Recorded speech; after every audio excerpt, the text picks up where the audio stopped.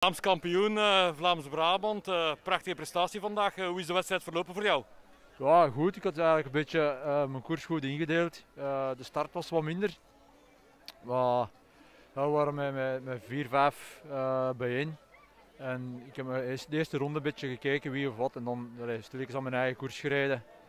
En ja, zo is het een uh, makkelijkere wedstrijd als de Masters allemaal samen eh, deelnemen of is het uh, juist een uh, moeilijkere opdracht?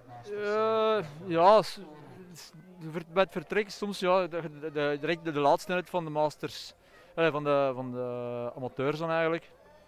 Maar ja, dat kunnen we de Masters B, Masters C dat ook zo. Hè. Dus, misschien... Jij bent kampioen met de Masters A, dacht ik. Masters A. Masters Wat zijn Masters A? vanaf 35, 35, van 35 tot 45.